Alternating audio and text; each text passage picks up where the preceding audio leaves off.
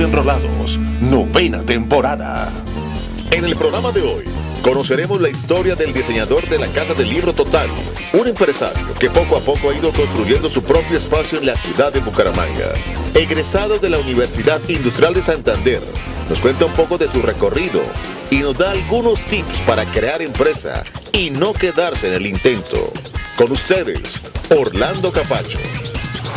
Orlando, bienvenido a la novena temporada de Santanderianos Enrolados. Hombre, qué gusto tenerlo en nuestro programa, ya después como de varios añitos, ¿no? Con ganas de que estuviera en nuestro programa. Gracias, Cristian, por su invitación y, y sí son varios años porque yo estuve de los inicios de Santanderianos Enrolados desde que trabajaba allá en un cuartico pequeño, no digo dónde, pero era bien pequeñito. Cuarto de la muchacha. Y el cuarto de la, de la empleada, pero de todas formas en ese pequeñito cuarto se gestó esta empresa que ya muestra los resultados.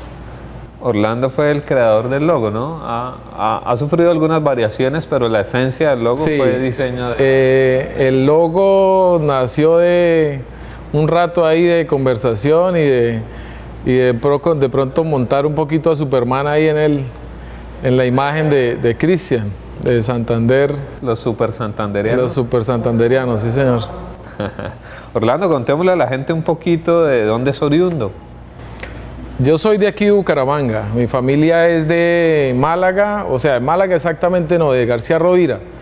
Mi papá es de un pueblito que se llama Huaca, mi mamá es de El Cerrito Santander y toda la, la, parte de la infancia y de la juventud prácticamente estuvo por, esa, por esos lados. ¿Extraña la vida de campo, de pueblo? A mí me gusta el campo y me gusta la vida del pueblo porque me parece muy tranquila y me parece que va en sintonía un poco con lo que, con lo que pienso y como soy yo, que soy más bien tranquilo. Entonces esos ambientes eh, me traen buenos recuerdos y, y, de todas formas añora uno estar en, en, los sitios donde, donde de pequeño, de juventud estuvo uno pasando buen tiempo. Orlando, contémosle a la gente eh, qué profesión tiene, dónde estudió, qué anécdotas hay ahí cuando pasó por la universidad. De la, de la universidad yo pasé, de, o sea, desde siempre estuve como en la parte técnica, a nivel de colegio, y ya pasé a la universidad a una carrera bonita que era diseño industrial. Yo estudié diseño industrial porque realmente mi papá no tenía la posibilidad de darnos a los dos carrera profesional. O sea, carrera profesional a nivel de privado y público. O era privado el primero o era público el segundo. O sea, el, que saliera primero era eh, universidad privada. Y a mí me tocó de segundo por ser el segundo en la lista y ser menor. Su hermano no perdió muchos años. Él fue, él entró de una a la Universidad Santo Tomás y pues se graduó de odontólogo y yo seguí en el proceso. Entré a la UIS, quería estudiar arquitectura y entré a la UIS buscando como esa afinidad a nivel de, de lo que me gusta y gracias a Dios fue o debió ser es diseño industrial lo que tenía que estudiar. Anécdotas en la universidad sí muchas, o sea, porque de entrada uno es pura exploración y como primíparo sí hubo anécdotas a nivel de, de que pues la UI se ofrece en marcha y se ofrecen, se ofrecen cosas que no vive la universidad privada. Eh, anécdota sí que estuve participando en una marcha y cuando me di cuenta éramos ocho y yo no conocía a ninguno y aplaudiendo ahí y gritando cosas que tampoco no tenía ni idea. Pero eso es parte de la universidad pública. Orlando, ¿cómo inició su empresa? Eh, la UIS me, me, formó a nivel de, en la parte técnica, en la parte de ingenierías y de ahí se gestó la idea empresarial. Nunca tuve como la, la, visión de ser empleado, nunca siempre quise tener mi propia empresa, desarrollar mi propio negocio y se gestó desde el proyecto de grado. El proyecto de grado fue una máquina para cortar plástico con el amigo eh, de la Universidad Milton, que era el compañero, de, mejor dicho, de todas las... El socio. El socio, sí, como llamamos. Y de ahí salimos con una empresa que cortábamos plástico y le hacíamos bolitas, cogíamos las gaseosas, canastas de gaseosa y las picábamos y hacíamos bultos y los vendíamos. Esa era toda la empresa y que se hace actualmente todavía. Pero eso nos dejó eh, una experiencia bien grande a nivel de formación de empresa y a nivel de, poder aprender cómo es que cómo es que puede uno tener ideas de negocio propias y con, y con berraquera, con, con empuje. De ahí en adelante eh, ya eh, empecé a responder un poco hacia lo que es el diseño industrial y monté mi, mi, empresa desde mi casa. ¿sí? Desde mi casa empecé a trabajar ahí y más adelante ya llevo más de 15 años en el, en, en, el, en el campo del diseño y la arquitectura porque más adelante se me ofreció la posibilidad de generar espacios arquitectónicos. Este espacio donde estamos es uno de los que desarrollé hace ya unos, eh, pensaría yo que tiene 10 años este espacio, con Pacho Centeno, que fue el primer el primer que, la primera persona que fundó este espacio, como se llamaba Café Teatro. Y fue una experiencia bien enriquecedora y, y ahí empezó a, a, gestarse todo lo que es la arquitectura y, y ahora pues hay proyectos importantes que, que son reconocidos, gracias a Dios. De esas experiencias profesionales podemos hablar que la de la Casa del Libro Total es la que más le ha gustado. Sí, eh, la Casa del Libro Total es como el estandarte ahí de mi empresa, porque yo toda mi publicidad la dirijo hacia, hacia ese proyecto, porque la gente tiene un reconocimiento eh, hacia lo, arquitectónico y hacia lo bello de la casa. Eh, eso fue un proyecto privado del doctor Álvaro Navas, Sistemas de Computadores. Gracias a Dios me, brindó la posibilidad de ejecutarlo y eh, en este momento le agradezco porque es algo que aporta hacia mi vida y hacia mi empresa y eh, me parece que, que se ha convertido como en el estandarte de mi empresa y de ahí salen muchas más cosas, más negocios. Este programa llega a ustedes gracias a Juan Esteban Televisión, televisión para el desarrollo de nuestra región. Está usted viendo Santanderianos Enrolados, novena temporada. Ya que estamos hablando de proyectos, cuénteme, ¿qué es el tabacal? Ah, sí, es otra idea de negocio que, que tiene, que pues con un amigo, Giovanni Márquez, y con otro, Iván Solano, que ya no está, ya no está, digo, porque él tiene empresa y se dedicó mejor a su empresa. Y nosotros quedamos con, con un socio eh, dirigiendo un proyecto que llama Tabacal, Mirador de Tabacal. Es un proyecto muy bonito y es una experiencia a nivel de construcción interesante. Es un proyecto que viene en la Mesa de los Santos, en todo el mirador del Cañón del Chicamocha y, es un proyecto que son locales comerciales de plazoleta de comidas. Es un proyecto que es una oportunidad de negocio para el que, para el que quiere invertir, y es muy bello, es muy bello y queremos posicionarnos a nivel de, la Mesa de los Santos con construcciones a nivel de casas y urbanismo a nivel de lotes. Es, es como lo que estamos desarrollando actualmente. ¿Es Bucaramanga una buena plaza para hacer empresa? Bucaramanga, o sea, no solo Bucaramanga, cualquier espacio es bueno para hacer empresa, solamente que la perseverancia es la que tiene que ser como la constancia en, su, en la mentalidad de negocio que tenga. Si usted no es perseverante, usted es un ejemplo. Es un ejemplo de empresa, así como lo soy yo, de perseverar en las cosas que uno anhela y quiere.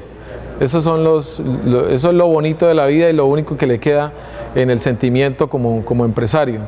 Que gracias a Dios no, fui, no, no, no se fue empleado, sino se fue empresario. Y si es una, si es una plaza para, para hacer empresa, es pequeño, las oportunidades son más eh, son diferentes a las de Bogotá o a las de Medellín o a las de ciudades más grandes, pero como, como plaza para empresa hay mucho, mucho, mucho de dónde, de dónde hacer. Y más ahora que están las zonas francas y son empresas e industrias que vienen a, invertir aquí en, en Bucaramanga. O sea, hay posibilidad de, hacer buena empresa.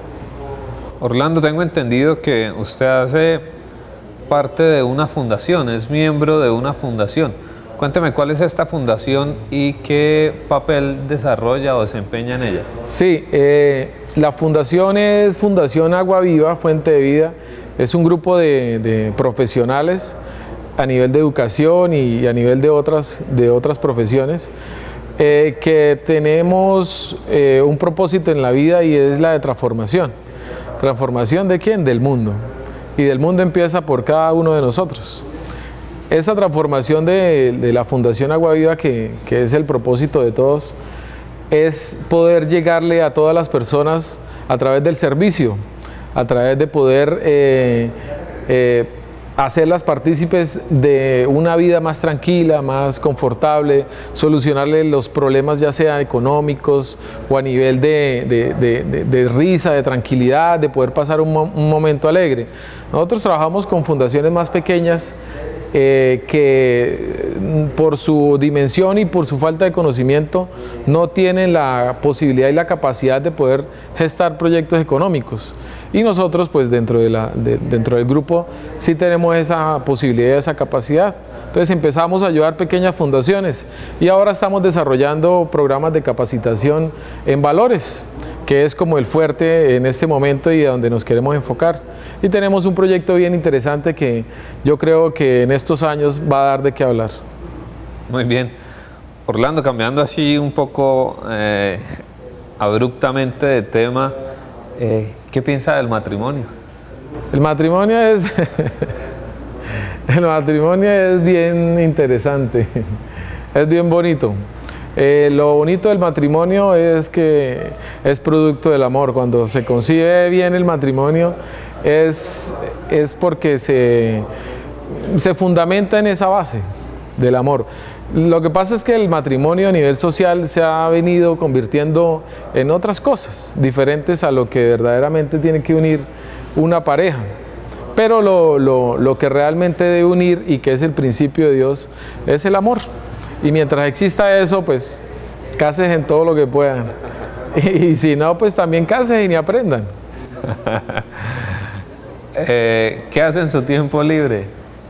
En mi tiempo libre eh, juego squash, que es un deporte que últimamente estoy practicando. Jugué fútbol en un tiempo aquí con el socio Cristian. Eh, no soy el experto en jugar fútbol, pero, pero me gusta y cuando hay la oportunidad pues lo hago. Squash sí lo, sí lo, lo hago un poco más seguido. Y, ahora las motos, me gusta la moto y me gusta un poco la, la velocidad y, y ya, de pronto también se, se, ha venido, en un tiempo ahorita atrás se vino gestando lo de las caminatas y eso que era con el suizo, un amigo, un amigo suizo se llama Jesús, y él sí le gusta a nivel de exploración, los caminos, las cuevas, las caminatas, y tuve la oportunidad de hacerlo y me gustó es algo que también tengo que empezar a desarrollar.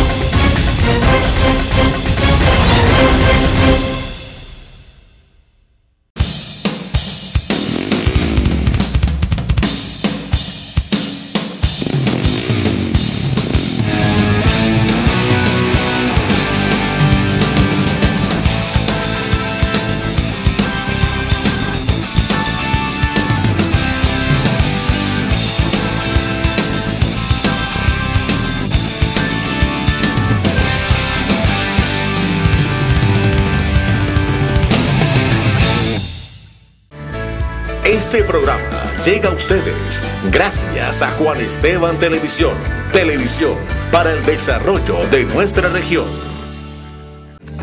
Agencia Atenea, investigación de mercados, alquiler de publicidad móvil y BTL.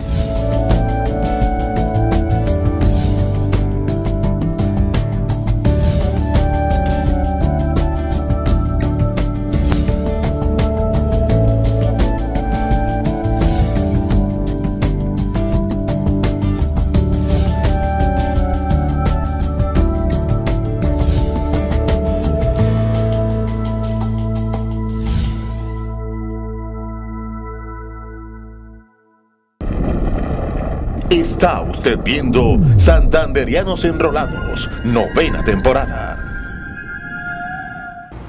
Orlando, un consejo para aquellas personas que quieren empezar una empresa.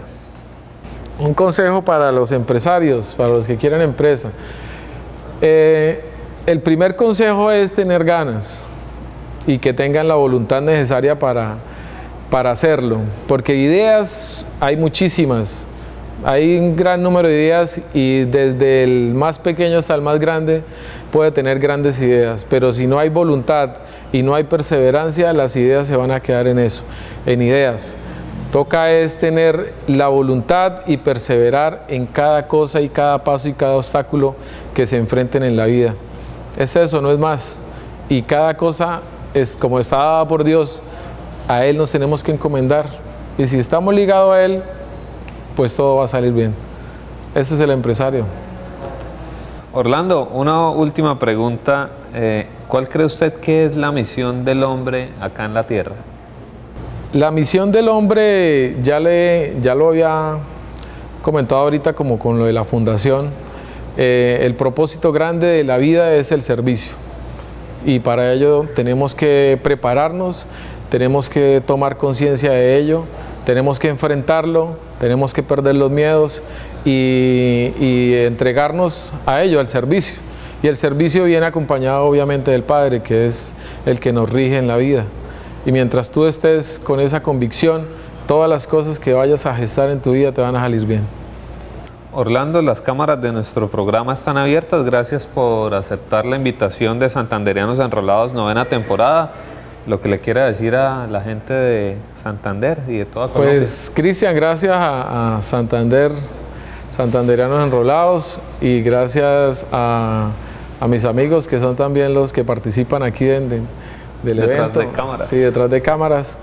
Eh, gracias a, la oportunidad que me brinda por, por tratar de abrir también, eh, abrir espacios a nivel de, que las personas puedan eh, ver que en Bucaramanga hay posibilidades de, de hacer empresa y, de hacer vida.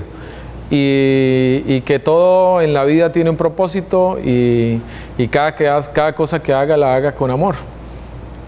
¿Alguna página donde la gente...? Sí, yo tengo, el proyecto ahora tiene una página que se llama www.construimosinversiones.com.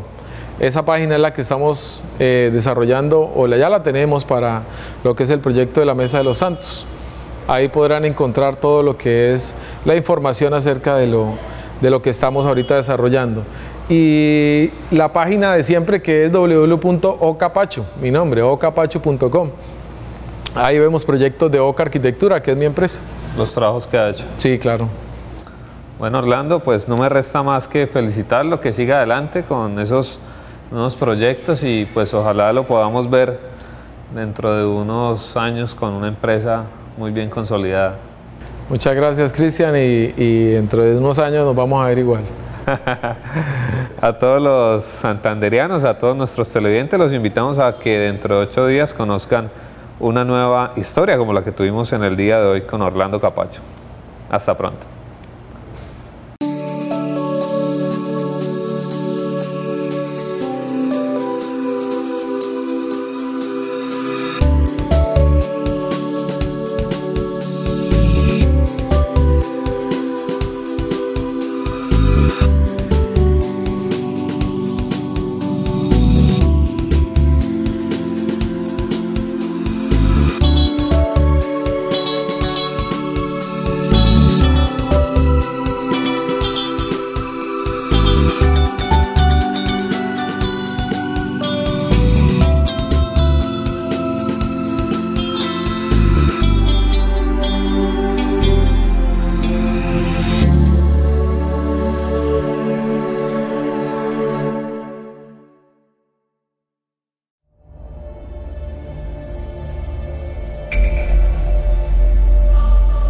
Santanderianos Enrolados. Véanlo los jueves a las 9 de la noche. Santanderianos Enrolados, Canal Tro. Este programa llega a ustedes gracias a Juan Esteban Televisión. Televisión para el desarrollo de nuestra región.